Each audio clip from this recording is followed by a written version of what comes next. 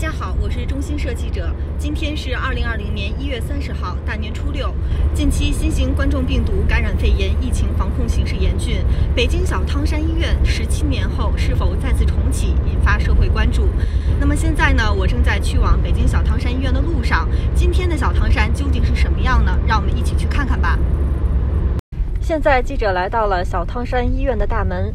在二零零三年四月三十号到六月二十号，小汤山医院的定点病房共使用了五十一天，曾收全国七分之一的病例。现在这里正在进行扩建赶工，让我们一起去看看吧。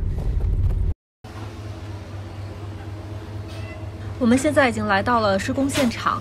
那么现在可以看到，红色的建筑板已经将工地全部都围了起来。各类工程车也在现场有序的工作着。我们现在看到啊，有百名的这个工人现在分散在各个的作业点，然后不同的楼层，有序的在进行这个墙面的破拆以及钢筋的焊接等等工作。你这能行吗？这个？这是装什么呀？嗯，管道。哦，现在开始管道阶段了，是吧？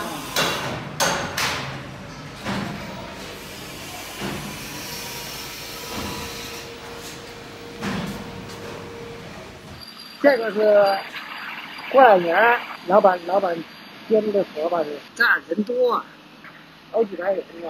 以后有建工、有重建，这是两大公司。另另外还有还有小公司，病毒性肺肺炎嘛。啊，现在建就是早上六点六点左右就开始，晚上到五点左右。那么在天台上呢，可以听到这个嘈杂的施工队施工的声音，然后四周呢，施工队是都在加紧的赶工。在施工的住院部中，我们看到百名工人在加班加点的进行破拆改造，他们从大年初三就开始一直工作到现在。就在今天，北京市卫健委透露，小汤山医院进行修缮后，将视疫情变化，必要情况下会启用小汤山医院部分床位，作为后备收治新型冠状病毒感染的肺炎患者病床。在这个特殊的时期，为抗击疫情，我们众志成城。更多精彩尽在中国新闻网客户端。